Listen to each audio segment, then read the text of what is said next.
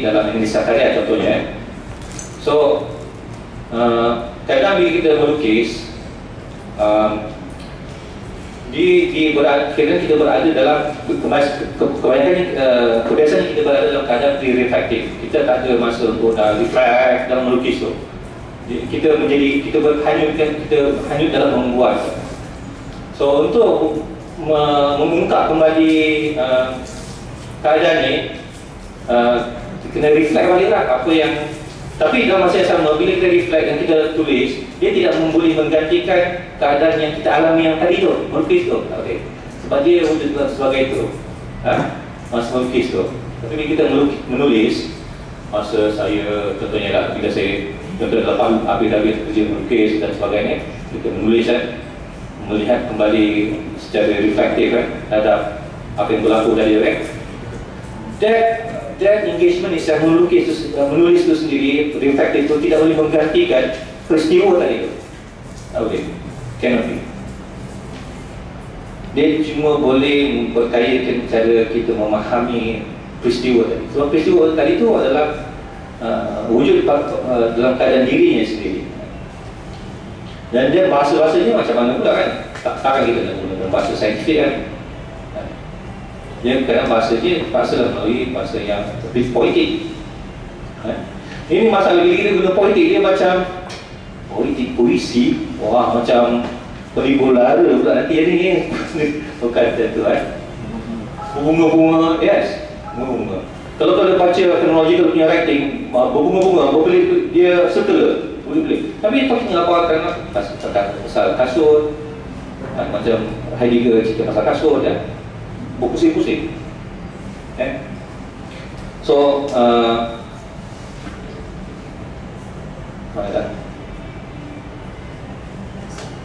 Paul mengatakan bahawa in art as poesis, original and originality truth happen. Truth is not propositional, scientificnya, but rather truth is existing as it unfold. Uh, pakar nak boleh explain kira lah.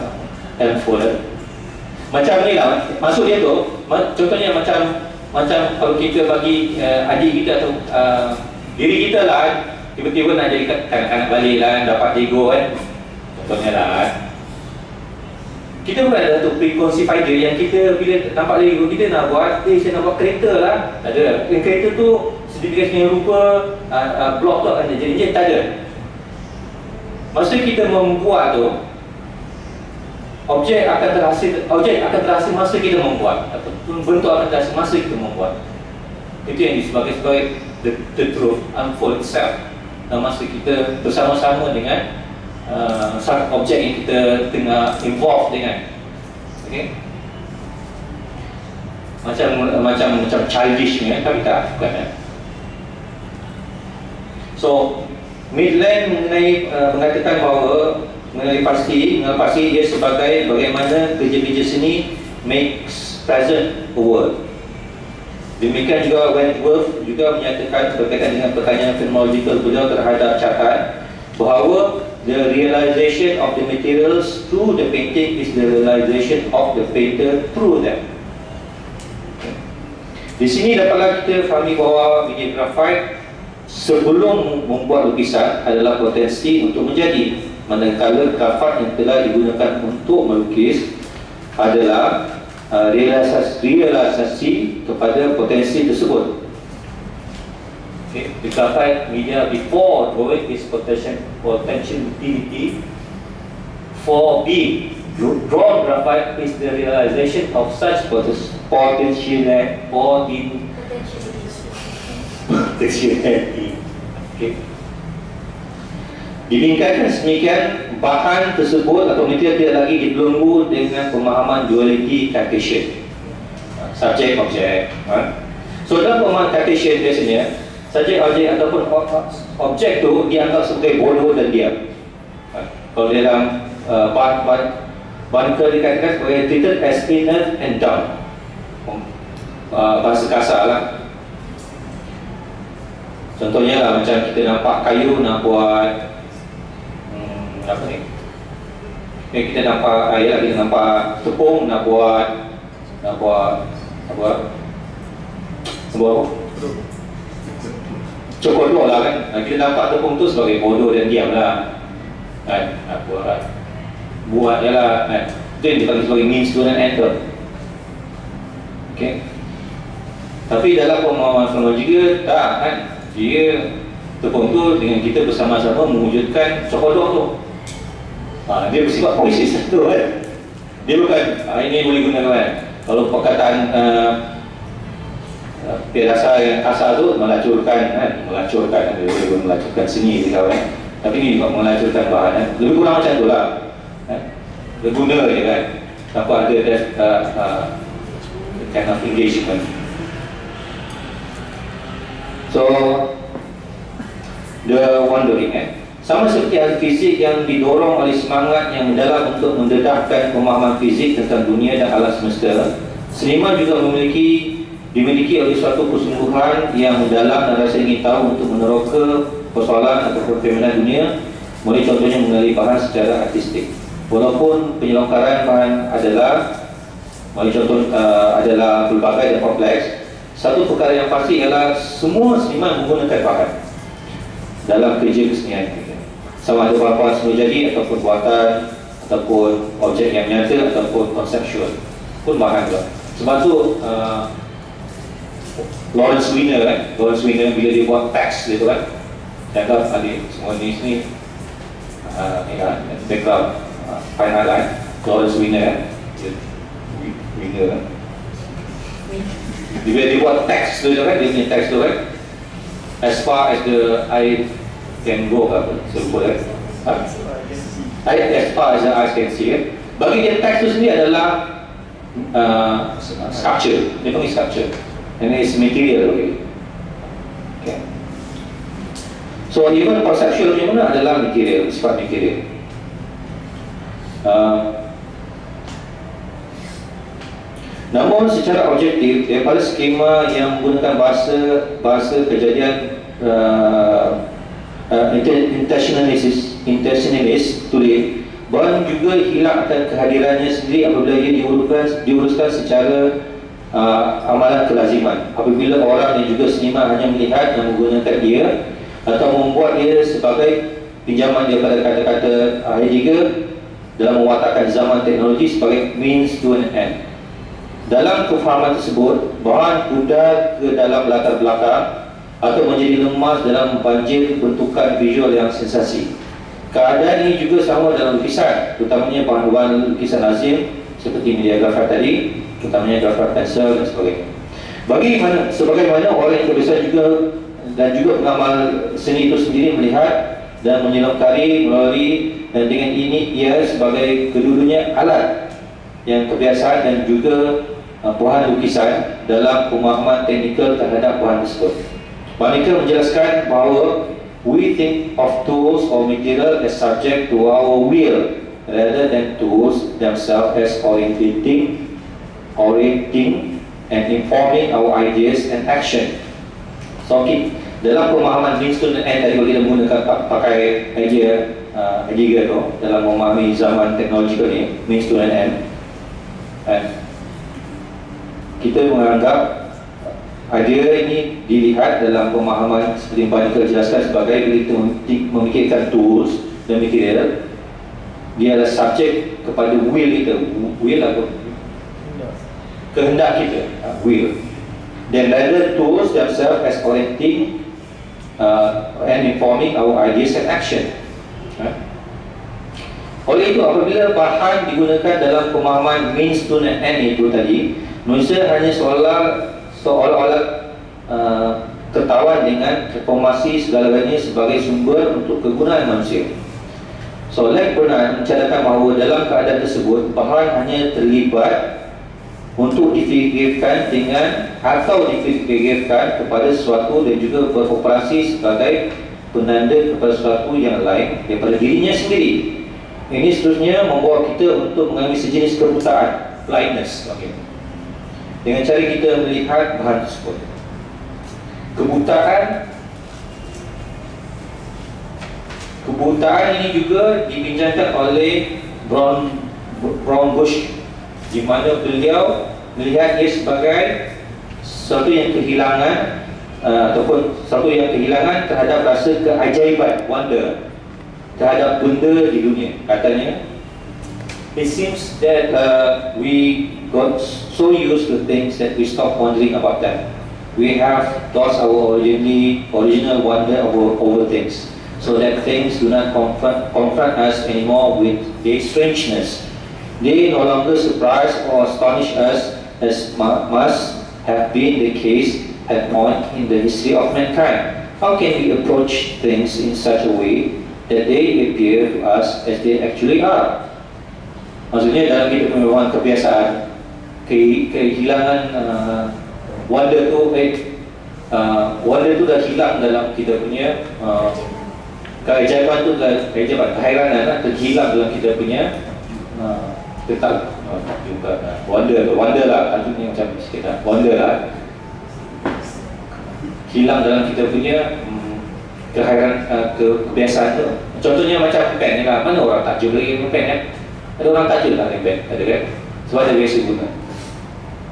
Macam sama lah macam langit kan mana orang tajam kan tapi kalau kita kembalikan nilai-nilai wonder tu balik kita tengok langit tu kita rasa bermacam-macam keadaan yang akan membuka pula bermacam-macam meaning pada diri kita kan biasanya artis lah yang ada this kind of uh, sensitivity. Kalau awak suruh cleaner untuk lihat langit rasa takjub dia tak dalam dia punya uh, reality dia dia rasa pelik kan? Okay. Tapi even jangan cakap pasal dunia ni kan even benda-benda biasa lah. Kasur kan hilang takjub kan. Sebab kita biasa guna lantai tak tak, tak ada rasa wonder kan. Pencil pun macam mungkin saya graphite. So di sini penyelenggaraan saya bertolak dari kebimbangan link bernard tersebut atau lebih khusus pada kedudukan ontologi di mana penyataan Paul Bush tadi we got so used to think that we stop wondering about them menjadi jurang untuk menyelengkari fenomena media grafik grafik bukan untuk meng taksonomikan dia macam saintifik ni ya. bila kita tengok pokok kan pokok adalah ini di segi pokok zaman pahan yang mana ialah kita taksonomikan dia. Sebab dia dan, dan, dan kita kan kita kita dah biasa especially kita yang melalui uh, perjalanan akademik kan uh, sekolah ataupun universiti kan kita terbiasa dengan bahasa yang very empirical atau scientific kan. Semua benda nak di berjelaskan secara taksonomi itu kan. Uh, even mengajar pun ada taksonomi dia blue kan. Seolah paling tinggi adalah kognitif paling tinggi adalah create kan. Kita terbiasa dengan bahasa-bahasa ni. So uh, macam saya cakap tadi lah jadi bukan untuk mentaksonomikan secara saintifik atau menjelaskan tingkah laku bukan juga behaviorism behaviorism explain the material behavior. Tetapi untuk mengenali macam lembut sikit kan mengenali mengenali grafit kan. Eh mengenali grafit kan. Tapi kalau melihat dalam kacamata saintifik untuk melihat punya nano dia punya grafit ni dapat satunya reality yang reality uh, material yang yang apa yang yang dalam kan. uh, macam tinggi kan tapi sebab kita pun dah tak biasa dengan hierarki ni kan hierarki kan Berfikir itu lagi tinggi membuat ni macam bodoh sikit kan. Sekolah teknik, oh, oh belajar falsafah tinggi kan. Kita terbiasa dengan hierarki. Okay. Melukis, oh melukis, teknik. Kan? Oh buat tu lukisan, oh teknik. Kan? Macam bodoh. Oh buat tu tengah berfikir, oh tinggi. Hierarki kan. Pakar nak boleh belajar nanti. Hierarki tu. So dia adalah sebenarnya return to the original of wonder dengan harapan untuk memperkayakan lapisan uh, side eh, kalau buat saya kata side eh, cara melihat. Kalau kita dalam Islam uh, mata hati ya. Ada kita ada bahasa bukan mata hati. Tak, bila cakap mata hati hati kita ni ada mata. Ya, hati ni apa jantung ke hati heart heart lain. Ni bukan mata kan teri-teri mata kan. Bahasa tu lah. Sebab realiti ni kadang-kadang dia tak dia, dia tak boleh digambarkan dengan ada satu uh, uh, realiti ni ada satu peringkat mana bahasa tak boleh sampai. Dia terpaksa nak politikkan dia. Macam aku ada dia tangan ha, tangan Tuhan kan bukanlah maksudnya Tuhan-Tuhan tangan kan? Tapi tak boleh sampai kan? Realiti tak boleh sampai untuk digambarkan. Dan dijelaskan. So dia menggunakan perkataan-perkataan yang poetik kan? poetik. Dan even dalam uh, budaya dari orang-orang Melayu pun kan? Pun kaya dengan bahasa-bahasa ni kan? Tangan jauh perjalanan luas pandangan kan? So dengan memperkayakan lapisan sight tu atau penglihatan dalam mengalami bahan tersebut atau membuka pemahaman baru atau insight dan dalam kedudukan material pada bahan uh, pada bahasa lukisan boleh membuat lukisan itu sendiri. So do I, how? Pada dasarnya dalam sains semula jadi scientific uh, natural Penyiasatan terhadap objek adalah ke arah pertanyaan existing fact such as physical phenomena yang dilampirkan dalam menjana pengetahuan konkret atau tuntutan kebenaran ataupun truth claim. Semua benda dalam uh, dalam dalam engagement apa-apa um, apa ni uh, bidang pun ada satunya satu engagement kepada truth claim, right? Sains, nama ada sains, falsafah, agama dan sebagainya. Yang ada, cuma sifat dia berbeza lah. Yang ada hubung kait dengan corak universal tapi kalau untuk saintifik biasanya ada hubung kait dengan corak universal atau undang-undang yang dalam kebanyakan kes ia ianya uh, bersifat correspondent theory of truth. Di sini fakta-fakta adalah berdasarkan sebab musabab dan secara mekanikalnya boleh diramal. Untuk ini, seperti yang difahami dari paradigma saintism, kaedah saintifik menumpukan teknik untuk memeriksa fenomena, mendapatkan pengetahuan baru dan mewujudkan semula dan menggabungkan semula pengetahuan sebelumnya melalui proses pemerhatian, penerangan dan ujian. Ini uh, understanding of scientific ni understanding ya. Yang seterusnya teknik ini boleh digunakan untuk pendidikan masa depan. Satu daripada uh, kriteria ataupun sifat saintifik ini selalu boleh direplikate kan? bagaimana painting ini boleh direplikate kan? kalau dalam, dalam, dalam kita pun dalam memahami kita punya dunia pun dan kita pun ter-overuse kan? yang painting ini boleh di divalidatekan supaya boleh direplikate supaya orang lain boleh niru balik uh, kejayaan painting ni kan?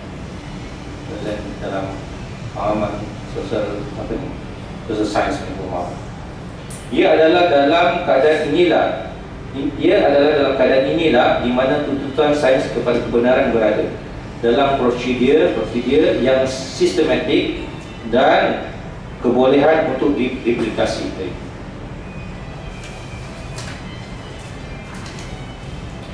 Ini agak berbeza dengan seni yang tidak memeriksa dan meramalkan seni secara mekanikal ha, membuat karya ini bukan satu bentuk yang mekanikal lah. walaupun dia seorang dia itu adalah uh, berkarya seperti uh, berundong so. Ber, ha? Ha? berundong ha? Jeff Wood Kemudian head damage ya. Lupa. Karena nama saya boleh lupa. Uh, Jeff Good kan? Walaupun kita tengok proses pembuatan dia dia macam uh, hilang kan? Tapi pun tak semestinya tu kan? Dia bukan mechanical. Tetapi menggunakan sesuatu yang baru dalam menumbuhkan makna dan potensi dengan menghargai perkara yang diimajinasikan Bogdorf nyatakan bahawa ia adalah art practice both the object and the creative process embodies it embodies situate, tacit knowledge that can be revealed and articulate by means of experimentation and interpretation. Meskipun dengan di dunia amalan seni dalam pendidikan juga tidak terikat dalam penetapan mekanikalnya dan hasilnya ia adalah uh, bagaimana Don Bocchino menggambarkannya ia sebagai plural practice that reject theological certainty. Ia bertindak terhadap pemahaman bahawa penyidikan penyidik seniman tidak akan dapat mengetahui hasil lebih awal dalam pemahaman adalah satu yang memunculkan diri atau emergent dan bukannya sesuatu yang telah diatur sebelumnya.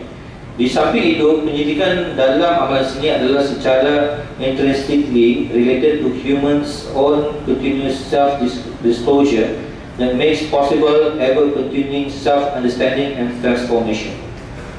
Atau bagaimana Paul menerangkan bagaimana tingkah laku seni menjadi jenis penglihatannya sendiri dalam penyidik seniman gigi menjelajah ke dalam pertanyaan membuat, melakukan, mengendalikan terhadap bahan dan idea. Di sini ia adalah penting untuk membezakan di sini adalah penting untuk membezakan uh, perkataan sight atau penglihatan dengan perkataan pengetahuan knowledge.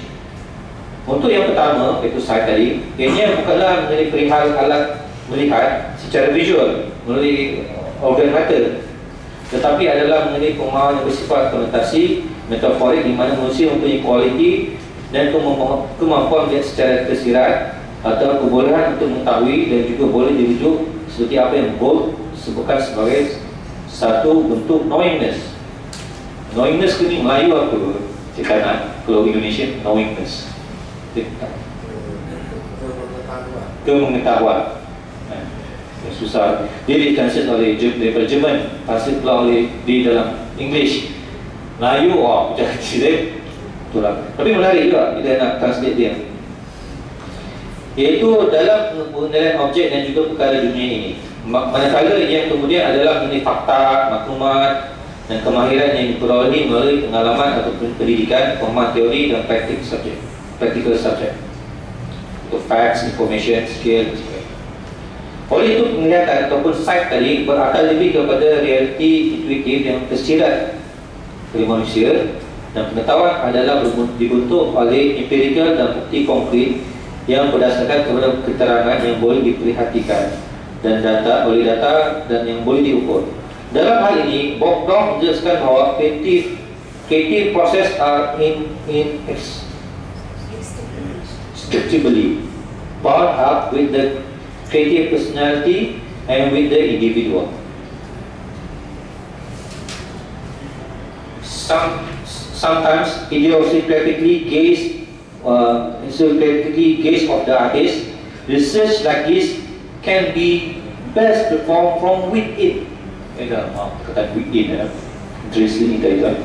Oleh itu, salah satu asas yang paling penting dalam mengendalikan kajian saya adalah bahawa ia tidak berakar dalam pemahaman saintifik atau positivis, positivis atau dari metodologi sosial tapi dari apa yang apa yang dimaksudkan sebagai seni berasaskan amalan atau art practice Terutamanya merujuk kepada pada, pada paradigm yang berteraskan thinking in a medium Itu Sullivan Dan emergent kemunculan mulai kerja-kerja seni atau lukisan Dalam saya, melukis Adalah watak teras metodologinya Kemunculan emergent Kemunculan atau emergent di sini disebut sebagai poesis Yang mana kewujudan keadaan. Bukan keadaan, keadaan ada. Lah. Ada kan? Ada tak ni? Ada kan? Ada ada. Keadaan kan? Ada kan? Ataupun English dia being kan tidak tahu macam nak translate dia yang keadaan English kan being keadaan seni memunculkan diri ke hadir atau art coming to present atau bring forth adalah melalui seniman sebagai pengantara uh, dan bukannya sesuatu yang keluar melalui dirinya sendiri yang lebih merujuk kepada sifat fisis dalam alam. Okay. Macam macam bunga lah, bunga kembang kan. Atau matahari tengah tenggelam kan, begitu kan.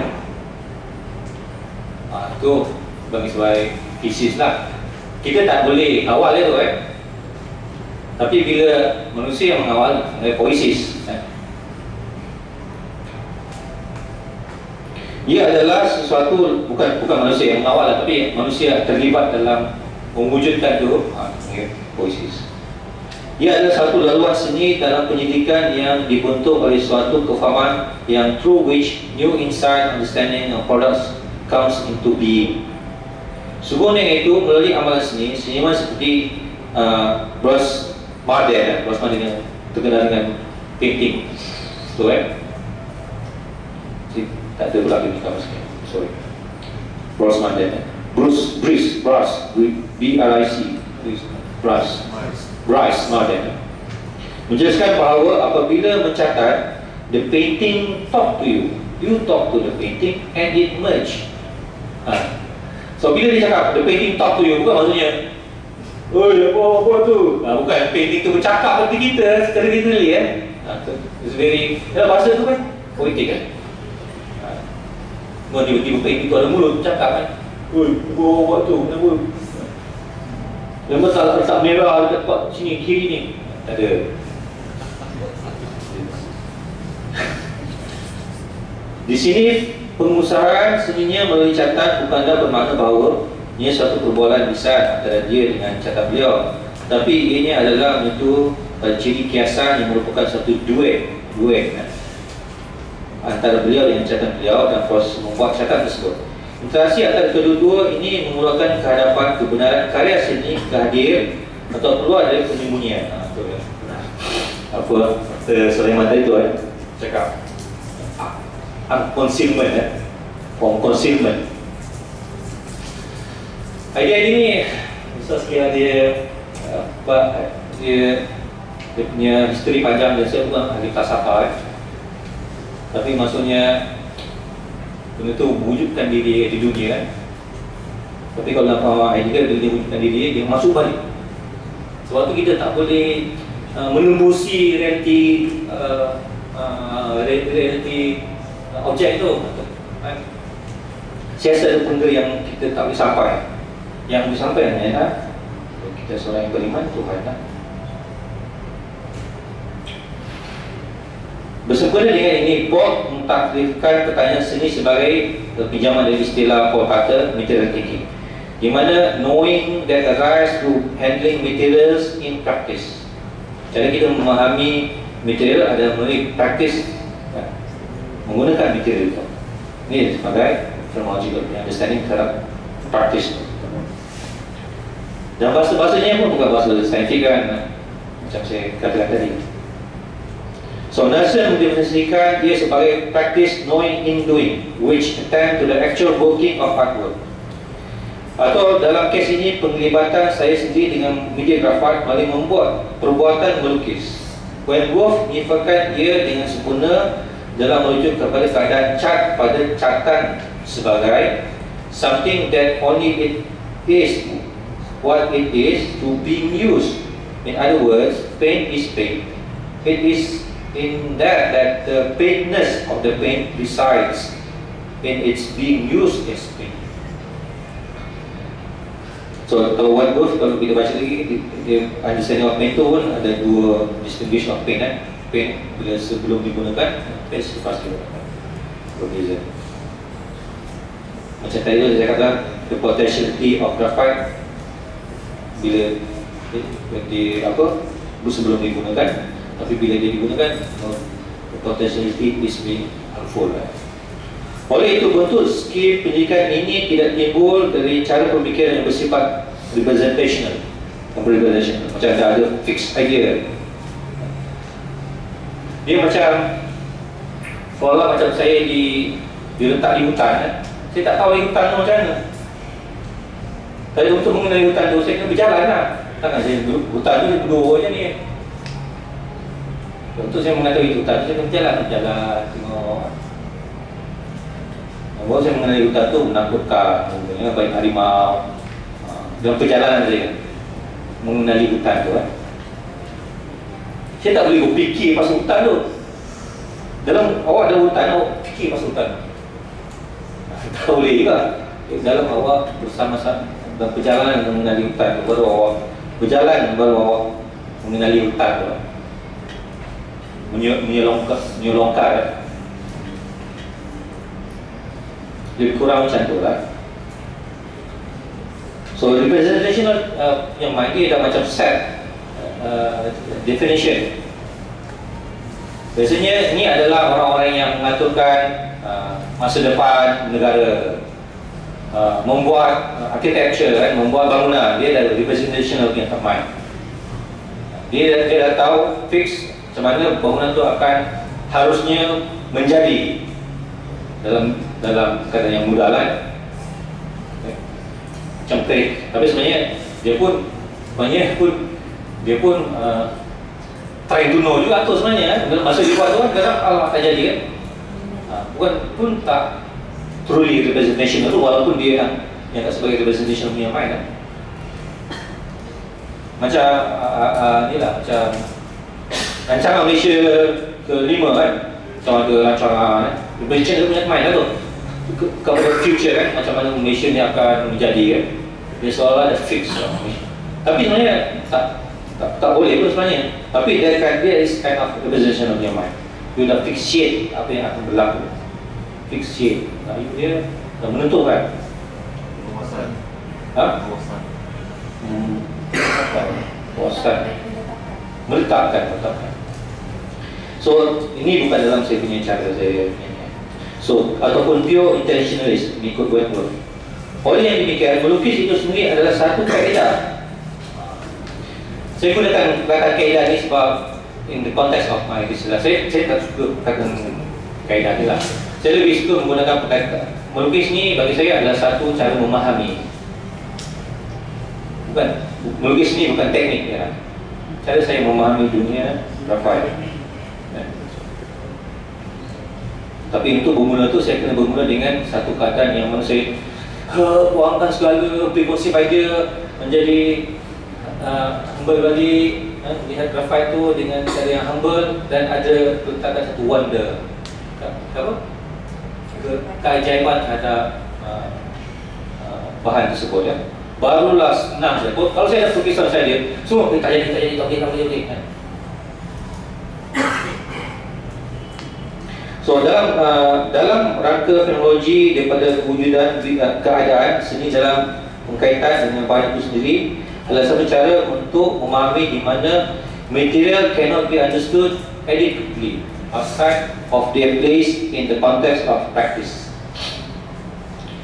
This view, uh, so secara uh, teori atau lebih khusus secara falsafahnya Usaha saya juga terjalin uh, dalam jalinan di mana ia juga melalui uh, sedikit uh, format fenomenological. Sebenarnya apabila melukis sebagai fenomenologi yang berlaku dalam kehendak akademia yang perlu menulis syaratnya sendiri melalui bahasa atau bahasa bertulis.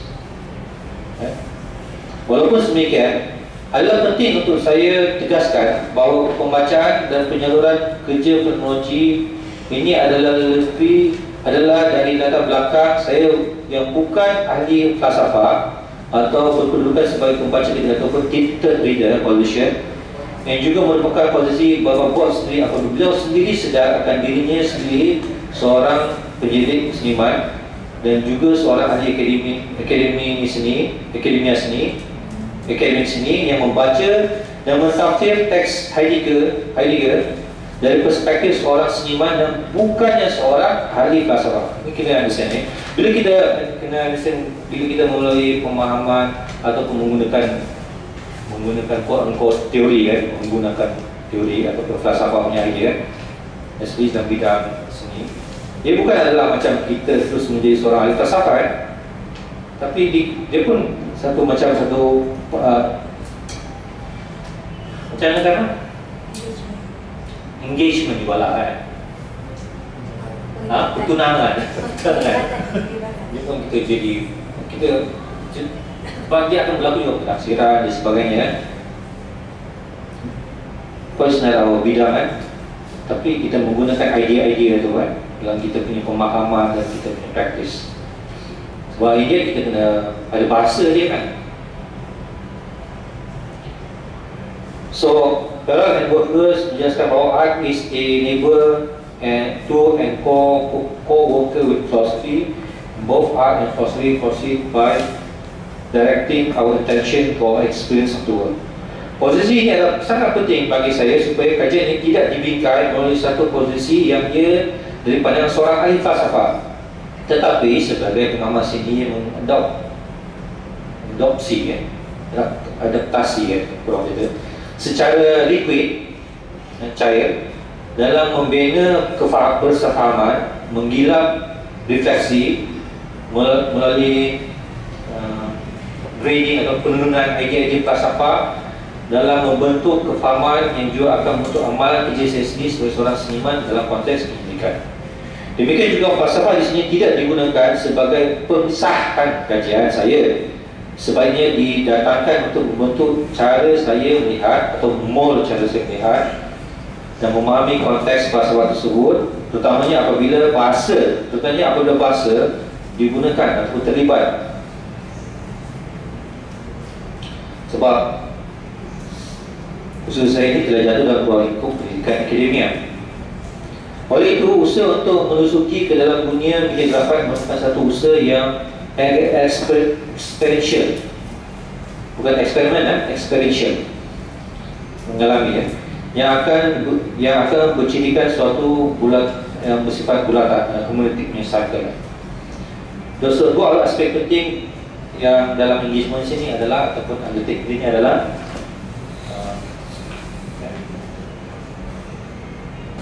ya, ini pemahaman jadi kalau untuk kita memahami dan jika tak buat ni lah. Kerap ni dia tak buat. Ni ni ada, ada, ada orang lain buat tapi untuk understand that work dia bersifat secular maksudnya hadis ini tidak lagi bersifat macam mastery duduk macam maharaja kan.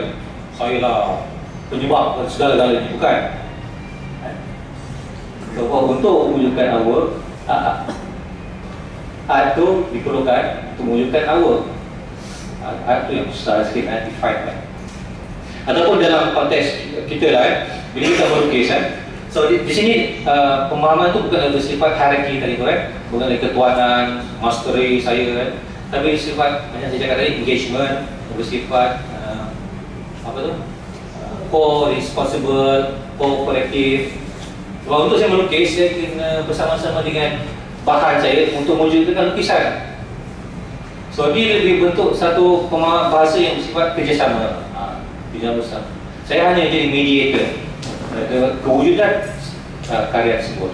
Oh, sabar lah, Sulaiman nak kontak dia. So So saya punya ni lebih kurang yang, yang uh, the director tu still there. So the drawing act, melukis dan the writing act. Dua komponen paling utama lah dalam research uh, practice based kan. Terus saya kena buat kerja-kerja artistik. Dua tu kena menulis lah lebih kurang macam menulis dengan apa yang kau buat tu kan. So dia adalah engagement tu kan. Tapi ini pun still dalam proses pembinaan. Saya akan di di di di, di banner kan bukan final kan. So secara kesimpulannya kajian ini adalah satu pencarian seeking dalam dan dengan media grafik in and through media grafik melalui perbuatan melukis yang berdinas dalam fenomenological punya pemahaman dan juga dalam refleksi. Apabila memahami teknologi dalam amalan sini yang mendokong bahan adalah satu kendala yang menginstitusikan, membuat bermaksud menginstitusikan membuat menginstitusikan masalahnya menginstitusikan meaning making tadi maka ia boleh dipahami sebagai satu political debate di sini political adalah openness before what is apa itu. Bukannya satu ordering atau mastery over what itu bukannya satu satu kerja yang macam tuan yang meng, apa, menentukan segala-galanya tapi openness. Oleh pendidikan seniman itu saya. Dalam melukis dan lukisan terutamanya dalam medium dikenal sebagai pensel grafit atau sebagai pensel disebabkan oleh pemahaman lazim di mana ini adalah alat dan juga bahan melukis yang biasa kemudian juga menjadi tertakluk terhadap pemahaman yang menjadikan pensel sebagai bahan yang digunakan dalam pemahaman yang teknikal. Yang dia cakap tadi teknik teknikal. Buat apa ni melukis? Teknik melukis kan? Tapi bagi saya saya tak kata teknikal tu kan atau teknik tu kan kita boleh gunalah pemahaman tu guna? Bukan tak boleh. Tapi saya tak menggunakan perkataan teknikal. Melukis bagi saya adalah cara memahami. Memahami dunia grafik atau dunia, dunia melukis tu kan dan bahasa dah berubah kan kalau teknikal ni macam dump in kan macam kampus ni teknikal kan di sini kita menjadi cenderung untuk berfikir akan bahan adalah takut kepada kendak kita daripada ia upaya untuk membudi dan memberi maklumat terhadap idea dan tindakan. Oleh itu dalam merangka teknologi, teknologi ia adalah satu cara untuk beralih pemahaman ini di mana melihat bahawa tidak boleh difahami di luar dari pengamalan dalam membuat seni. Okay. Untuk memahami bahan itu, dikarenakan berada dalam uh, pengamalan membuat atau membuat karya-karya bukan dan bukannya di luar. So, sekian, terima kasih. Untuk saya mah tak ada soalan. Alhamdulillah. Sekian, terima kasih. Uh,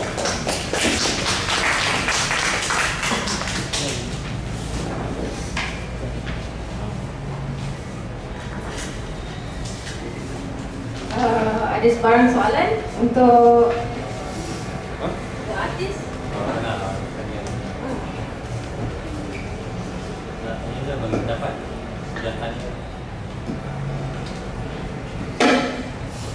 Soalan?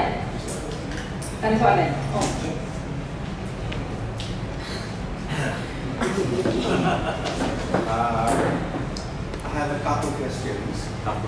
Ranging from very simple one to more complicated. Eh?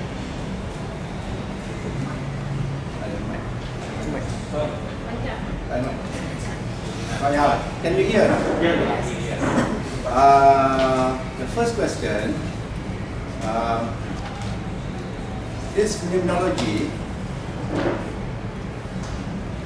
is a system of philosophy It started in the 20th century, okay, alongside with rationalism of Descartes, positivism of Kant, Heidegger, essentialism of Heidegger, you know. So it is a series of philosophical systems which happened 100 years ago, see? And now we have moved to postmodern period. We move to age organization. I mean, the idea now is pushing with new theories, you know. So I want to ask, what is your justification for retrieving something which is a past and also alien to our culture, being Muslim, being Asian, being Nusantara, like, when we have issues of what is the role of artists of Asia to make contribution to the world culture, not to derive from the West, but high time we, as artists in Japan, in Korea, in making impact globally. If we still mengemis dengan Barat and not getting back or even countering, are we now going back in time other than try to understand own culture and contribute to the world culture at large? That's my third question. I think you can answer that first. Ah, okay. The second question. The second, second question. Eh? Um, one of the key ideas behind uh, is anti-Semitism. Because only philology that the idea of thinking, practicism is rejected. Do you agree if I said that philology has a lot to do with Zenbuddhism and Taoism? In the sense that you're talking about idea of against rationalism, against thinking, but more about feeling and experiencing. For example, in Chinese art, we say when you paint a tree, it's not about subject and object, but try to fuse subject and object. You know, rather than giving theories like uh, Cezanne talking about a tree look like a cone, like a cube. We say we look at a tree, see a tree, be a tree, paint a tree. You mean there of fusion, interpretation of such an object. Okay. In your work, you say when you paint charcoal, don't think anything. Empty your mind. Be right here because of suchness, easiness, and experience charcoal as charcoal. Be like a charcoal. Would you agree that Zen Buddhism has impact on philologies? This is my first two questions. You can answer right now if you want to. Okay, first, ah, kita. I will try my best lah. Eh. Uh, first, uh, this idea of with the ever developing of ideas dan sebagainya, kenapa balik kepada teknologi, why not west, why western dan sebagainya. Uh, oh, and why not contribute kepada uh, teori Islam, so contribute to the this idea of we being a Muslim, eh, through art. Um, I think it's a matter of choices, right? Matter of choice. uh, whatever you attribute to the, the world is still Islamic. Uh, even though it's uh, Western, eh, even the way we dress now, you can't say that it's from a very uh, naively Islamic ni eh. Saya still wear checkered shirt eh, sebagainya. Eh.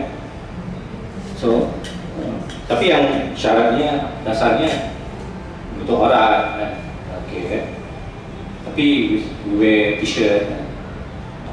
So for me tak masalah dengan dengan uh, apa identity masalah identiti Islam ini kena macam go against the West ataupun sebagainya kan. Hmm. Itu satu lah. This is a matter of choice lah. Because uh, because Yalah, when I start uh, trying to understand what I have been doing all this while, kan, saya menemui teknologi dia kan. Pak Karna, jadi saya berminat.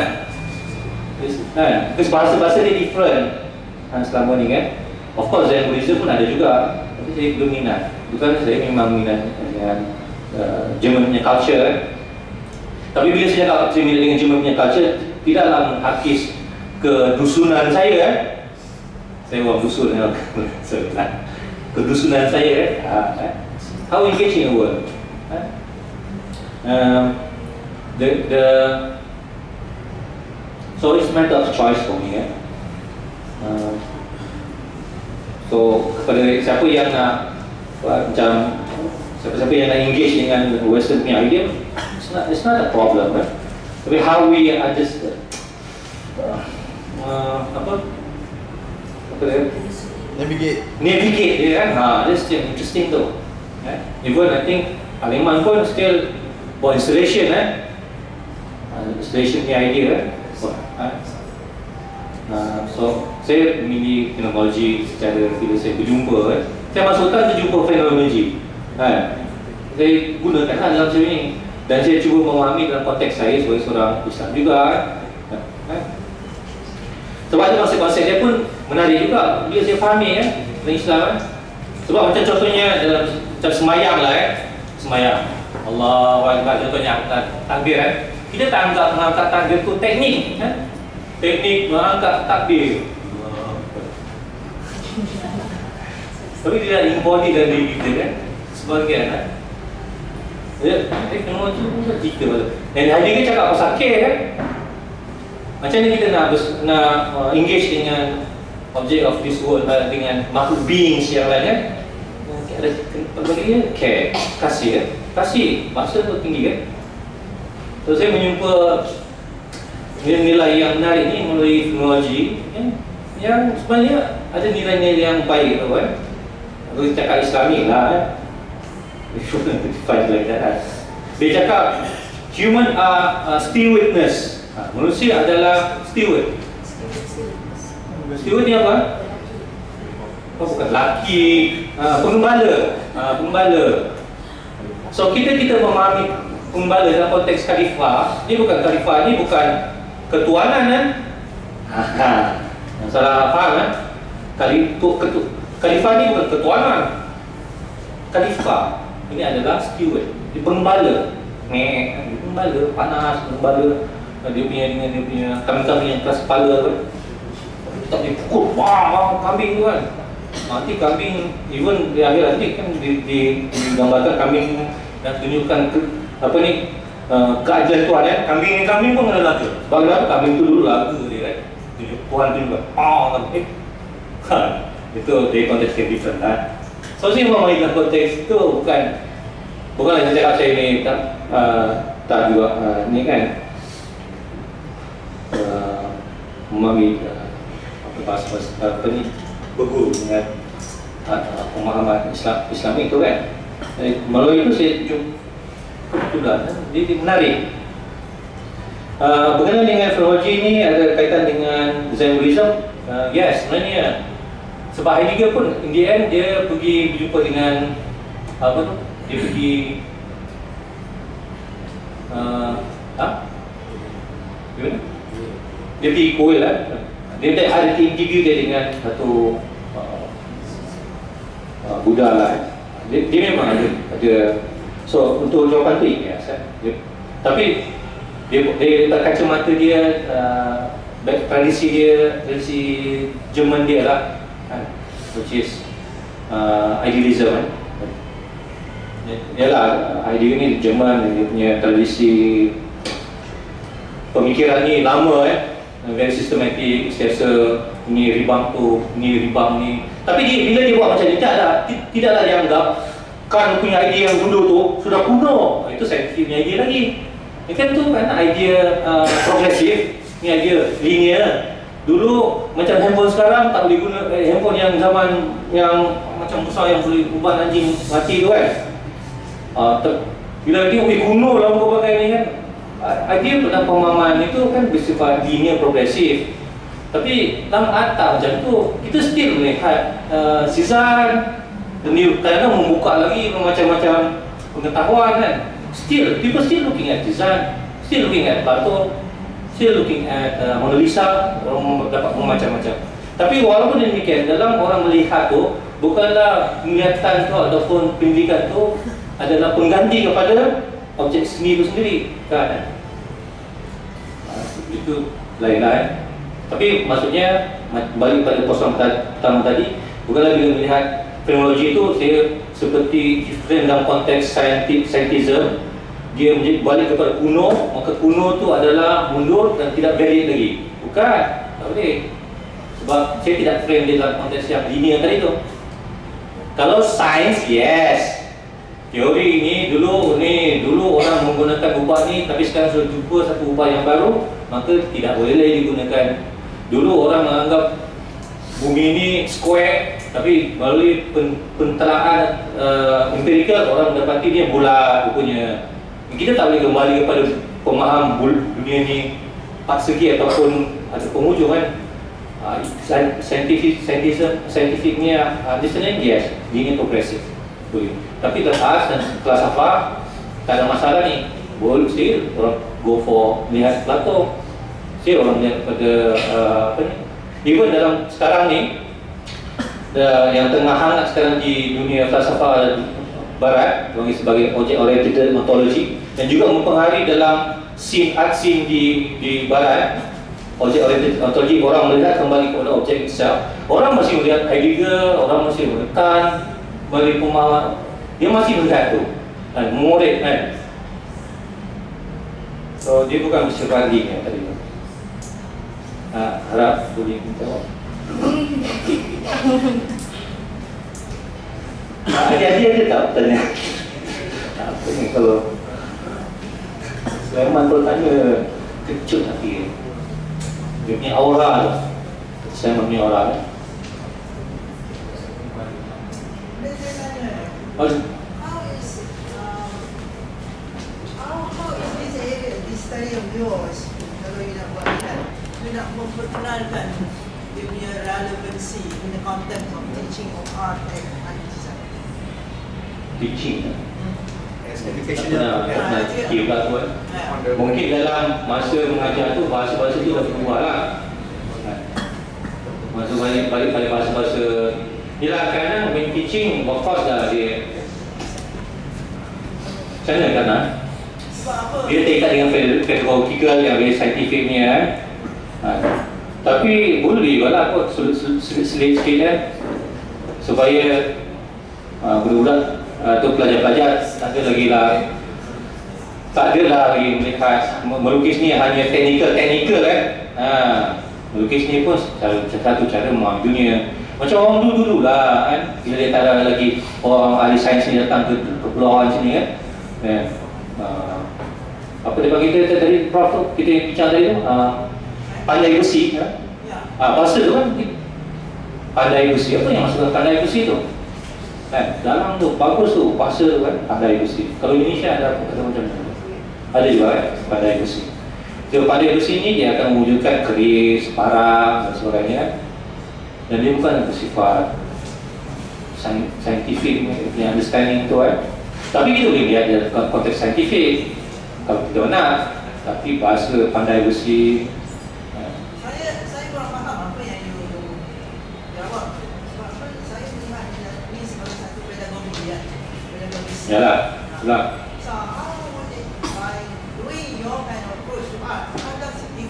Kita buat sekarang? dalam konteks mengajar mengajar. seni or seni lukisan seni painting how does that differ Differ dari segi bahasa tu lah Dalam pemahaman dalam me- me- mendepani lukisan tu Bukan lagi bersifat uh, uh, empirical ke dan sebagainya kan? Mungkin uh, satu cara. Sebab contohnya satu cara Bila kita melukis kan Kita anggap uh, teknik melukis kan very empirical kan untuk mendapatkan tonal yang variety kita kena menghasilkan shading yang sebegini sedemikian rupa. Merah dan mungkin very empirical kan tapi mungkin dari segi pem- pem- boleh. Ha, macam mana kan ha? so tapi pedagogical itself itself is very scientific kan? Punya understanding kan pedagogical. Pedagogi eh, is very scientific ha. so sama ada tiba-tiba pedagogi itu telah berubah dari segi bahasa dia. Ha, saya, saya tak, tak melihat ni dalam konteks pengajaran lagi tapi saya amal, saya amalkan dalam masa saya mengajar dulu masa masa saya mengajar tu. Ada ada saya saya gunakan juga bahasa-bahasa tu. Supaya bila hmm, pelajar-pelajar melukis dia tak menganggap tu sebagai kerja-kerja technical dumb and mute tadi tu. Tapi dia cuba melukis tu pun satu bentuk cara dia mengenali uh, dunia melukis tu kan. Ha. ada perbezaannya kan akan ada Mungkin saya saya saya punya uh, pengalaman mengajar. Jadi uh, saya mengajar budak-budak semester first semester. And then saya suruh dia orang selalu lah lecturer bicara semana-mana fine art atau design selalu student suruh bawa kertas besar A1 lepas tu ambil pensel suruh draw garis yang lurus. Ada lecturer yang sangat stress sangat gila kan? Satu uh, kertas ni penuh dia tengok. Tak ada pun satu yang lurus oh ya nangis lah. Uh, budak lelaki perempuan terisak-isak kan? Ada ada. Uh, itu satu pedagogi, pedagogi yang dulu kolonial ajar tu. Saya tengok uh, even saya punya lecturer pun sempat tu. Ada satu kawan koyak terus besok sakit. Memang dia nak sakit dah nak sakit, nak kan? So saya try dengan saya punya student.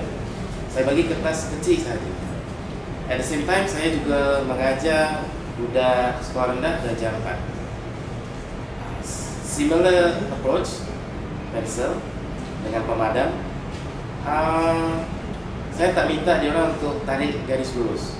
Saya minta uh, you uh, cuba untuk uh, Macam mana? Yang fenomenologi ni lah yang saya ini masuk dalam saya punya question mark. Pasal buat punya research lah sorry ya mesti kena tanya juga. Uh, budak-budak ni uh, student ni eh. Student ni macam pencil pemadam. Dia tak nampak apa hebatnya apa hebat yang pencil dengan pemadam. So masa suruh drawing saya tak bagi brief banyak. So kita nampak budak tu yang suka yang student yang suka anime lukis anime uh, lukis manga uh, yang suka dengan superhero lukis semua figuratif objek. Uh, lagi sebagian sebab ni tengah ada gentangle doodling yang coloring uh, art terapi kan? Lukis-lukis banyak dijual dekat kedai-kedai semua lukis decoration uh, so ni kalau kalau nak diteorikan itu yang disebut Derrida tu uh, metaphysics of presence. So, kita student su sudah masuk dengan dunia yang already represented. So dia tak nampak what how to wandering yang kali yang kita wandering ketaksuban terhadap pencil atau the graphite.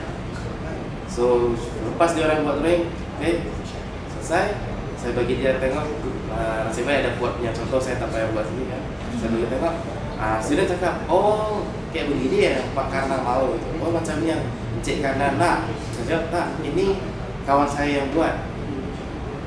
How about you? Boleh tak kalau kawan-kawan dekat sini tak, tak, tak, tengok pameran ni tapi dekat rumah balik tengok pensel tengok pemadam apa yang kita boleh buat? Nah ini something yang kita lost in the uh, mungkin art pedagogy.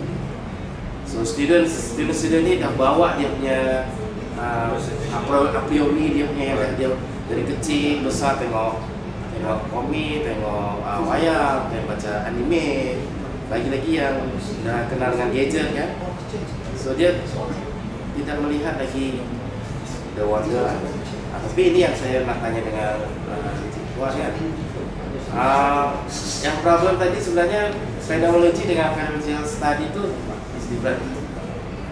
Uh, yang saya nampak uh, Cikgu adalah direct terus uh, guna pensel, graphite untuk mencari sesuatu kan dekat sana kan. But I lost what is the phenomena that actually uh, engage you. So sesuatu itu apa? So ini dah ini dah jadi macam saya dah uh, nak engage dengan graphite tapi before yang terjadi before come to being dengan dengan dengan ketaksu atau wandering dengan graphite. So kalau kita cakap graphite, kita dah define, dah definisi, dah definisi dah dah scientific, graphite, pencil, dah objek. Sedangkan fenomenologi ini uh, bermula dari uh, pra pra reflective, pre reflective. So before we wandering the things that scientifically called object the five objects. So, so apa fenomena fenomena yang yang menggugah lah menggugah uh, sebagai artis researcher itu saya punya kerja. Jadi uh, dua hal ini pertanyaan. ada pertanyaan juga tanggapan tapi tidak menjadi kepada Ada lagi? Sebelum Pergi. No, bukan question tu. Okay, Baru this is tahu very, saya. this is very serious. Okay, very important, very important. eh. Okay, in your presentation here, you mentioned this, I quote here.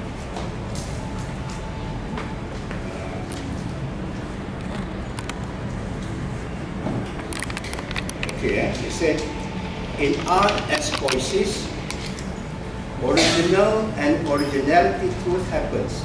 This is a good point. You said truth is not compositional, but rather truth is existent as it unfolds. Now, my hard question. Why I question Derrida Heidegger? These people are non-spiritualists, non-physicalists, don't believe in metaphysics. They talk about physicality of things for we as Muslim, talk alam lain, alam syahadah. Talk about something transcendental, spiritual. Islamic art, Islamic religion, truth is a priori, a given. The Quran is the truth, it's given. I don't test it. Based on yakin, I use Quran as given. Dia in philosophy dia a priori or posteriori. One you believe to yakin, one experiment. In the Bible science, science is God. Tak nampak mata, tak pegang bukan truth. In Islam, yakin, Quran tell the truth and untested. It's not something inexistent. It's given. So okay, eh? See, we play talk metaphysics. What she does now about uh, feeling all that. In quantum physics, everything is energy. Everything is zat. Is zat. In microscopic level, everything nothing. The trees, the stone is nothing but energy. He said, zat Allah. Simple as that. So if you remove Islam, you are in the world level. You are the world alam syahadah, not alam ghaib. You talk about the visible world, not the not invisible world. For us, when iman, to believe in alam ghaib is, is iman. So now it's question of akidah, soal philosophy, soal epistemology, knowledge. Are you reading Quran said truth is posteriori or priori? Yang pre-given or you have to test. Quran tu tak nak check. Tuhan ada tak? Mana Tuhan? Where's Tuhan? Where's, where's truth? Where's Nabi? To do that. Batu Hadiga, Islam reject. Tak boleh. We have Ibn Sadr, in Arabic, we have Al-Ghazali. Why you discuss in our everyday discuss? Because you are not 21st century.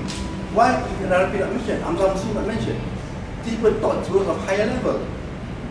Why are we still low at the world of alam alam alam syada, alam the symbol, no, what the symbol, the metaphysics, not physical, metaphysical. That's why I I'm critical because be careful now. We are talking about at academic level, PhD level now. And this thing this time is on the Bakar with NASA. We discussed it before now. And why we going back to Heidegger and Descartes and Comte and this guy? Why? Unless you come to critique them. Yes, critique them. Rosado have critique. I have critique was important. report. Why not talk about that that's for our discussion? This one.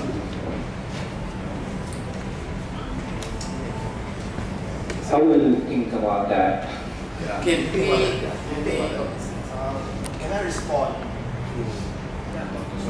Um, I, I'm very uh, curious about this question because the way he frames it is uh, that the artist is you have to reflect your belief in your work.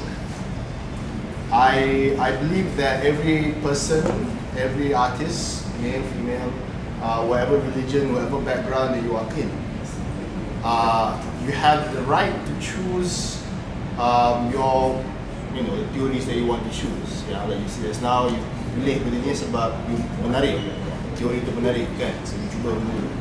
Okay, so just a question lah. Okay, just a question. I mean, is it because uh, I'm a Muslim, male, uh, Malay, that my work has to respond or reflect my Malayness, my Muslimness, my Melayuness? Does it have to be like that? Uh, can I be can I be Malay Muslim but talk about Christianity or Judaism or even Heidegger, you know, German, not even Muslim. So it's, it's more of a question than uh, uh, uh, like more of a reflection than a question, you know, because I, I believe that um, we all have our own paths that we are looking and and uh, through these small paths that we are uh, the journeys that we are going through we learn about ourselves. So maybe through Heidegger you are learning about yourself. Uh, maybe through Confucius you will learn about yourself. But I believe that the work reflects the artist but only at that point of time. Maknanya this work that you are doing now reflects you in this period it doesn't reflect you for the rest of your life so uh, I believe that it's I think it's okay you know to to, to do whatever you want you know as long as as long you as clear as why you're doing it you know. Uh, if my because my practice because I, I make animation I make video right uh, and I, these questions are very interesting to me because you are talking about graphite as a media so I'm thinking about what about video as a media if I'm animation you know before the animation starts the I'm talk about process together with the work medium and the, and the artist bekerja sekali kan uh, so for me that idea is interesting you know. Uh, I'm not thinking about Islam I'm not thinking about my agama I'm not thinking about my body I'm not thinking about my philosophy but I'm looking at that thought. You know uh, of course I'm still young and naive of course but I believe that through making mistakes through learning these kind of processes kita be- membesar dan menjadi lebih berilmu lah. Uh, kan? kalau kita lahir-lahir terus pandai itu salah I don't think it's possible. Yeah that's my That's that's a very good question, and also actually an answer, kind of an answer. Contoh, contohnya macam lah kan, kadang ada orang mengenal Tuhan kan, kesedaran. Sebab dia merempit, dia accident, dia masuk hospital. Sebabkan tu dia mula insaf, bukan sebab dia baca Quran kan. Contohnya lah kan, lepas tu dia baru nak baca Quran sebagainya. So, eh, I don't want to go into this kind of way because this saya pun baru semester 1 dan kids kan sebagainya. Can, can I uh, Yeah. in terms because I was from I, I graduated from class at previously. Okay. And I remember semester five, you do have the approach where you said not uh, make a drawing with a chalkboard and make it non-representational. And I think that some people, like I can give some examples in within my classes that uh, that from that simple exercise to us and it does give us direction in our final artworks art making because that time we still part five. So whatever we do in part five is experiential. And then I can see that it affects them until they finish degree. This, this is from uh, experience based. Uh, I'm not to talk or anything. So I can say, um, like Nabil, uh, you know some of their artworks. They they were very different when they were in semester three, and then when they reached semester five, they have a different style. I also included because you know all my style before and after. So I think that in conjunction to what Miros was saying, uh, when you do trial and error, it does help them uh, to lose themselves first, and then throughout the way they find themselves while doing the, the uh, like when we discuss about the do and the think, the paradox of first tulang, do and think, think and do. Essentially, you do, you think, you think, you do. Ah, something like that. And uh, this goes on to my next question. Jumlika. just just one, one, one simple question. Uh, what is your condition of yourself when you were drawing? What kind of condition you put yourself while you were drawing? Are you in a room? Are you in your in your house? Are you in your studio? Are you like uh, it's more to a psychology punya engagement lah. I was in a small room. You in your studio Uh, Uh, office describe- come, describe your- office studio come, uh, library and stuff. There's uh, the needs of uh, my house and then uh, I pick up uh, studio lah actually yes. But now I'm doing mo- most of my work in my house. you have your own studio lah? My my office is my studio. So what you That's why observe most of my works are very Small small, small size, very uh, intimate. is that you put yourself in a very um, is it comfortable position for you? Or do Sometimes comfortable, sometimes it depends on So the, you're- you're- the you're situation. absorbing your- absorbing the, situation. So have um, so all the drawings for this is from just one place. One place, then uh, my living room. So, So because some tidak jumping lah. First drawing series you do in your studio. yeah. Hopefully next year. Karena Okey, saya, jadi saya bagi uh, untuk menjawab soalan dari ini bukan menjawab lah, fenologi tak memberi jawapan uh, yang Dr. Suleiman tadi pertanyakan. Mungkin contoh dari dari N tadi itu pertanyaan what is your condition while you doing uh, you make it drawing itu yang disebut Russell dengan psychologism. So umumnya pada umumnya uh, uh, researcher selalu buat kerja yang nak tahu artis ni tengah gila ke, tengah shock sendiri ke, tengah. Itu yang yang phenomenology bukan bertanya pasal itu. Phenomenology, phenomenology is about uh, you inquire yourself. And then kalau dikaitkan dengan PhD, PhD selalunya di ibaratkan uh, as a researcher you are nobody, you are nothing, you are not a thing. So phenomenology sebenarnya uh, bukan pasal keakuan. Phenomenology ini is about kalau saya boleh ini my my perspective of phenomenology lah. Kalau perspektif lihat Islam itu about ikhlas.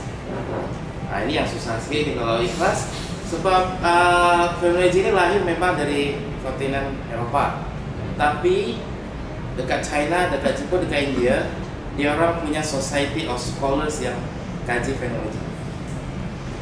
And then Heidegger sendiri ada case dia jadi Nazi Nazi, Nazi tahu kan Nazi punya anggota ahli lah ahli and then uh, Maulio Ponti sendiri dikira ateis. Nah, tapi kalau kita baca uh, Heidegger dengan Ponti ini melampaui zaman dia. So banyak orang-orang Katolik Kristian suka uh, berdiskus dengan Ponti sebab dekat barat selepas Nietzsche bunuh Tuhan. Schuller all the philosopher tak boleh gunakan Tuhan untuk argument. So Catholic guna mungkin ada kawan yang Catholic kat sini, rationality itu memberi uh, ruang bagi iman. Uh, ini perspektif dekat Eropah. Kalau dipertanyakan macam mana dengan Islam? Uh, saya ada baca uh, ini to answer Dr. Sulaiman saya punya bukan answer lah to respond tu memang ada kena fast reading lah fast reading. Tapi ini saya akan bagi kompres sedikit. Uh, ada Michael, Michael Michel Henry dia kaji pasal Kandinsky tapi di situ kalau kita baca dia akan nampak to engage with phenomenology ni macam kita disentuh, di touch by the being. Nah, kalau dalam bahasa kita Islam begitulah zat tapi zat ini begitu suci. Manusia ni dosa kan? Nah, kita tak boleh lah terus direct macam Nabi Musa atau boleh cakap Nabi Musa pun pengsan yang boleh sampai Rasulullah aja kan? Itu zat yang suci. So kita boleh mengenali wujud wujud kan? Itu bahasa kita mungkin wujud bahasa dia orang being boleh menjumpai tanda-tanda. Nah tanda-tanda ni lah dia sebut so kalau saintis nampak uh, macam tadi psikologi. Dia nampak yang kejiwaan. Uh, kalau yang uh, biologis dia nampak DNA so every mode of being akan memberikan jawapan yang berbeza. So macam mana artis? So so far ni artis ni macam secondary lah. Artis tu buat buat art tu art, art. Buat drawing, buat painting, buat sculpture tu secondary to the scientific punya apa Sebab scientific apa? Kita boleh pakai canggih-canggih handset, gadget boleh boleh besi, boleh terbang. Semua jasa daripada scientific punya Art tak ada, tak nampak langsung. Macam hari ni uh, shock sendiri lah kita, kita punya bahasa kan. So phenomenology ni dia bukan form, bukan method tapi dia memberikan satu platform untuk berfikir. Nah, berfikir ini yang menariknya dengan kalau saya baca Pongki pasal uh, Chiasa, dia ada ada term Chiasa. Chiasa is about uh, flash, flash itu macam dunia ini dia nampak sebagai intertwine of living and us. Nah, so kalau kita baca Al-Ghazali, ini my perspective lah, mungkin different people. Al-Ghazali argue, kalau kita mati, lepas itu dibangkitkan di mas uh, akhirat, itu bukan roh sahaja tapi all the body so body dengan tubuh dengan jiwa ni satu tak berpisah. So Pomti tidak bicara pasal akhirat. Dia bicara pasal dunia sekarang yang sekarang. Tapi the term Chiasam exactly memberikan satu rasional kelak kalau kita dibangkitkan di hari kemudian kita bukan uh, bukan dalam wujud uh, roh sahaja tapi badan sekali. Tapi badan yang yang dimasukkan Pongti sekarang ini bukan badan ini lagi darah tulang bukan nah, Ghazali Al Ghazali pun kalau kita ikut tafsiran yang umum uh, dia bicara benda yang sama. So sebenarnya dalam Islam uh, awal lagi dah uh, uh, boleh cakap abad 17 Eropah abad 19 baru muncul fenomenologi So dekat Jerman pun ramai yang membuat kajian pasal Heidegger dikaitkan dengan Islam, fenomenologi dengan Islam. Ah salah, ah, mungkin Turki banyak scholar yang try to to apa engage with both. Sebab Eropah ini tidak melalui agama, tapi boleh memberikan satu rasional kepada apa yang Islam abad 17 dan juga. So ini ini masih menjadi satu diskus dalam scholars. Nah, jadi saya tak boleh berikan jawaban, tapi itu yang perspektif yang saya dapati dari mempelajari benda ini lah. And then ada satu hal kalau kawan-kawan ada yang buat kajian pasal Islam pasti mengenal Paul Corbin.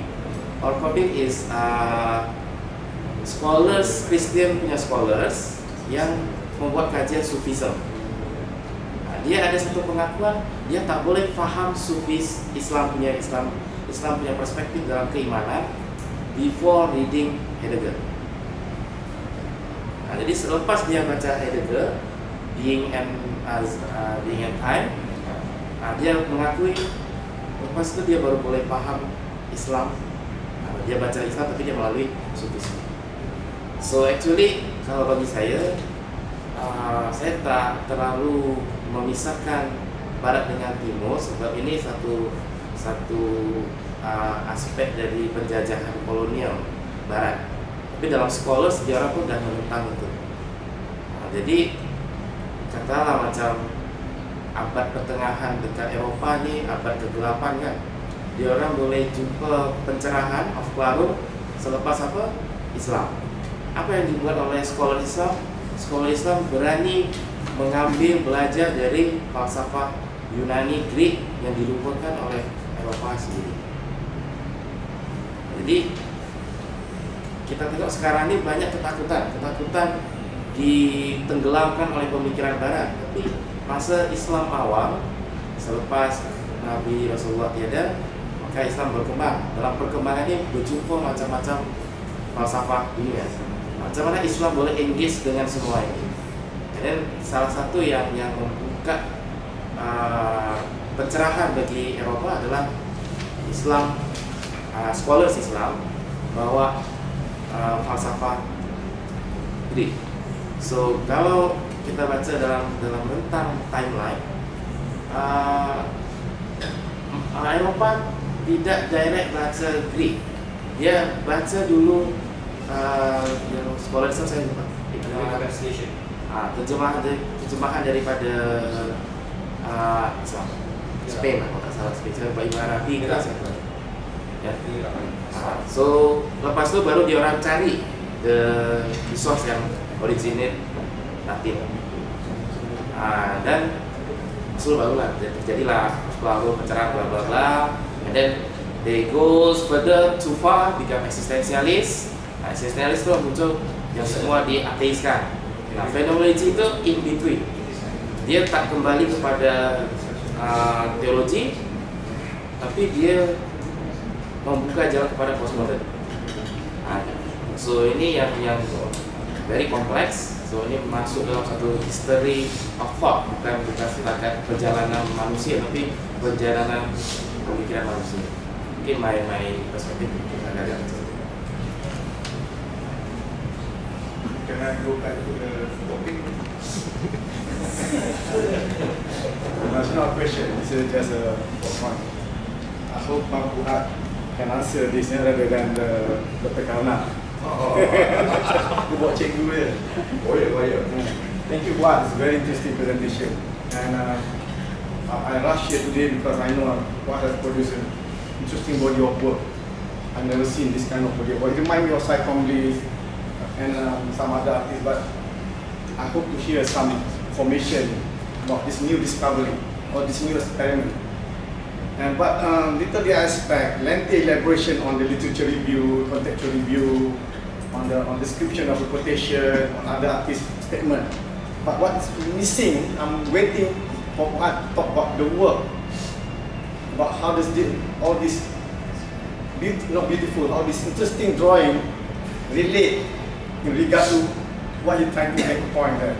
That, that's what a missing to me. And I think this is a, a very interesting drawing. Not even single information, we're talking about phenomenology. Not even single information of that process was mentioned in this discussion. Right? Saya, saya, but sayang sikit lah. sayang sikit lah. And then I also ask uh, whether banyak kali tanya dia whether this is a practice based ataupun uh, historical. Kata, no, this is practice based. Excellent. I love practice based research. So practice based must inform the practice. So discussion today should be should be elaborate on the practice itself, which is very interesting to me. I was hoping to see some description coming up from this beautiful drawing about the process, about the method, about the property, about the experience, about the result, about the certainty, uncertainty, about the intention, intuition. I'm waiting for that in regard to this work. But I failed to get it here today. So that's my, my, my frustration today. Lah. I'm sure what have the answer to that. And maybe you don't have to discuss today, maybe we can have this coffee later on. But I think this is a very interesting drawing. And uh, uh, a due should be given to this this body of work, I call it body of work, lah. what can call it the process or, or, or, or methodology or, or, or property or method, but they have to be discussed in regard to this mission. Otherwise we, we've been sidetracked all the way. I feel detached rather than attached to this this body of work. Thank you, Pak. Yeah, I understand. Okay, within my practices, like I said, this presentation is only to give a kind of uh, contextual understanding towards the uh, giving the background of why in the first place drawing is uh, looked into this point of view. The presentation uh, actually uh, the whole uh, objective of this presentation is, is about that actually. Only only when uh, the work itself, I, I, I don't I, even I don't know what it means to me. Only after I do the the reflection after that, after this the during the show and after the show, I start looking back at the the works. That should be never Yeah, That- that's another stage. That's another stage. Today is only the the The introduction, industry introduction, Yes. just to give the uh, context of the why drawing is. I was wrong place today. I thought this No, it's not the wrong place. eh? I thought I was hoping to see this beautiful work. But then there would be phase second. Let's phase see. Okay, I'll go forward to that. Phase tiga. Final phase. Because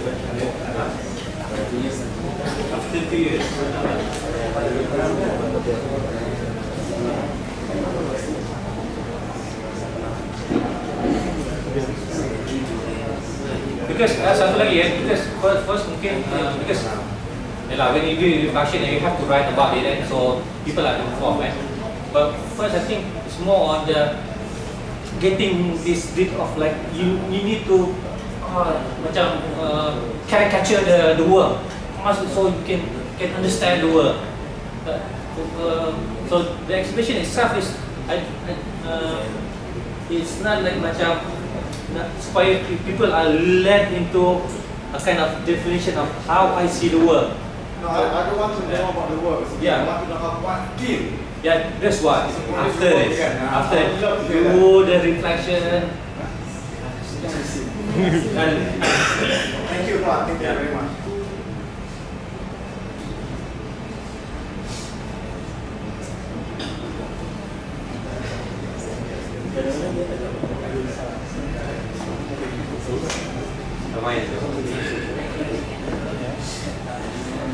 Any questions?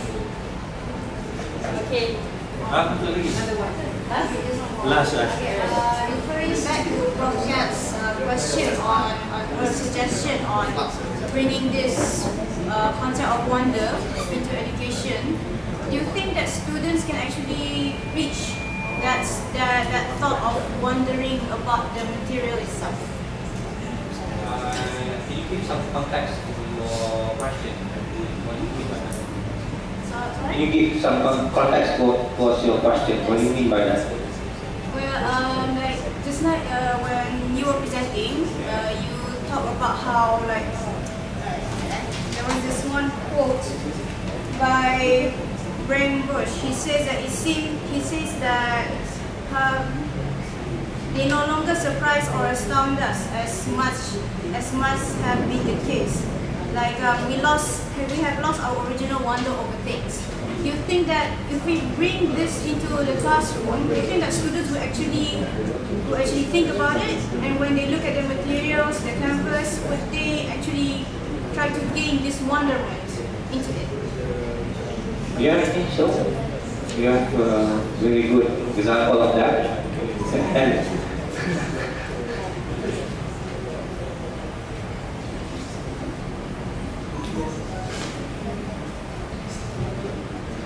Okay, okay, yeah.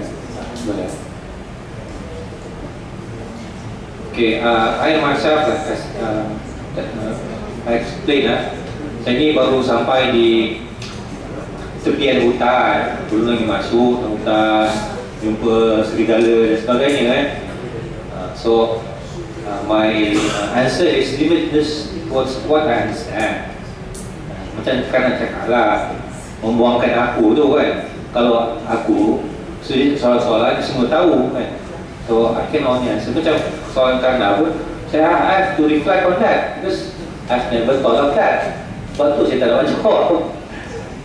Okay, that's a good question. I cannot answer right now. I have to reflect on that. So the this title is uh, too much of macam uh, too yang bombastic lah. On uh, people apa artists engage with technology doesn't use the words technology like uh, like I already told you. Yeah. Dia ada satu satu satu lain Bahasa. bahasa dia poetik lah baru bahasa. Then that's the problem lah. Okay. There's a problem because when you are engaging in uh, PhD sini eh, I also have to engage in with the point the uh, uh, politics of uh, the academy eh. So for politics academy dia on apa lah awak punya teori. apa yang awak tulis supaya awak guna teori ini? Jadi first baru nak gunalah teori saya teknologi macam tu lah lebih kurang eh. But I understand what you mean eh. Artis tak guna saya gunakan teknologi untuk memahami painting saya eh. Ada artis tak guna macam tu lah. Faham eh kira kata? Not only I have to engage with my study, I have to engage with the politics of the study. Eh? Nah, macam kita dengar macam-macam kan The politics of study. Kita berdepan Belajar ni bukan macam You belajar buku You harus paksa berdepan dengan macam-macam. Ada the supervisor Ada ada uh, Apa tu? The institution. Institution ada kehendak dia. Macam mana nak go through? Macam kanan kan Paksa juga kita buat pakai analytical kan? To describe dia punya teknologi satu dia tu kan? Kurang. So saya baru di tepian hutan dan belum lagi eh, baru nak guna so thank you for your question eh, Prof. Jai. Sulaiman. Dr. apa uh, Prof Kat eh, Dr. Karna dan the rest eh. thank you This, this is a convenient question. Okey, satu lagi ya. Satu, satu sikit je. Uh, masa masa saya mula membuat this research on graphite pencil eh, in, in the context of uh, PhD kan, ramai yang cakap, hey, kenapa buat drawing-drawing ni? Ni kan drawing-drawing kan? Ada ada my friend nak tak sebut nama dia. Kenapa tak buat macam elektronik ke? Kan? Ada laser kan? Barulah Oh, apa? Bukan, barulah uh, Contemporary art. Contemporary kan, tinggi kan, macam tinggi kan Guna teknologi tu baru kan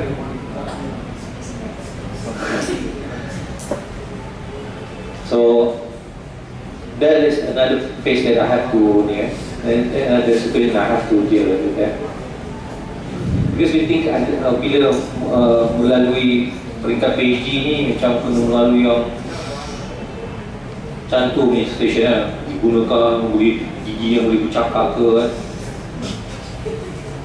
Atau art tu art yang Indian painting tu boleh bercakap. Oh aku boleh wow lah PhD kan. Tapi go back to the thing wonder yang selama ni kita gunakan kita terlupa dalam, dalam kita punya kegunaan kegunaan uh, seharian tu Okay, thank you. Terima kasih. Okay, uh, thank you for uh, for this talk. Uh, looks like um, it takes me eight years back when I'm still in school. Um,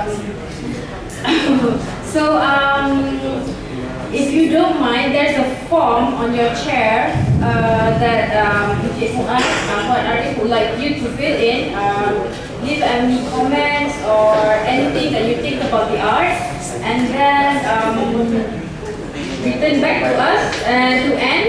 Okay, kalau tak ada pen boleh minta dia nanti bagi pen. Okay, uh, so uh, that's it. Uh, thank you very much for your time to get coming here and then now it's raining, hope everything is alright and then if that if uh and then please do enjoy the exhibition. Thank you very much.